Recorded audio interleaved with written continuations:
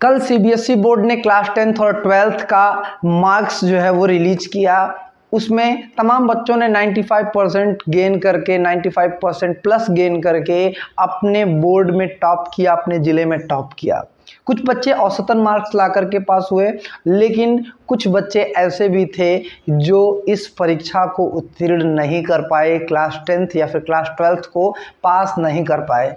भाई देखिए पास होने वाले, टॉप करने वाले सभी बच्चों को हमारी तरफ़ से ढेर सारी शुभकामनाएँ। लेकिन साथ ही साथ मैं उन बच्चों को ये संदेश देने के लिए यहाँ पर आपके साथ जुड़ा हुआ हूँ कि अगर आप किसी भी कारण बस अपनी परीक्षा को उत्तीर्ण नहीं कर पाए तो किसी भी प्रकार से यहाँ से डाउन मत होइएगा।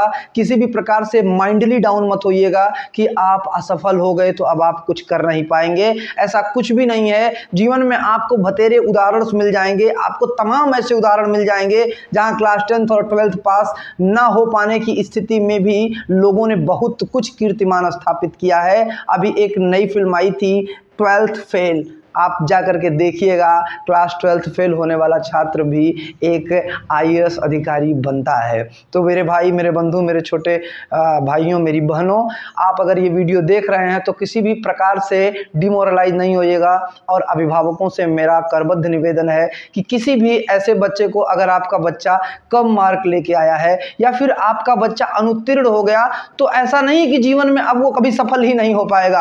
आप किसी भी प्रकार से उसे टॉर्चर मत करिएगा। जाएगा क्योंकि आज के बच्चों में उतना पेशेंस है नहीं कि वो आपके टॉर्चर को सह जाएँगे और कोई गलत कदम उठा जाएँगे। इसलिए किसी भी प्रकार से आप अपने बच्चे को टॉर्चर नहीं करिएगा, उसे प्रेरणा दीजिएगा, उसे और कहानियाँ सुनाइएगा, ऐसी जहाँ लोग अपनी क्लासेज में अनुत्तीर्ण होने के बाद भी आगे की, का जो सफ़र रहा है, उसे उन्होंने बहुत ही जिम्मेदाराना तरीके से निभाया और वो आगे चल करके एक महान हस्ती के रूप में उभर करके सामने आए। तो आप सभी से मेरा निवेदन निवेदन है, अगर आप बच्चे हैं या फिर आप अभिभावक हैं, अगर आप किसी भी प्रकार से फेल हो गए या फिर आपका कम मार्क आया है, कोई दिक्कत नहीं है यार, फिर से प्रयास करो।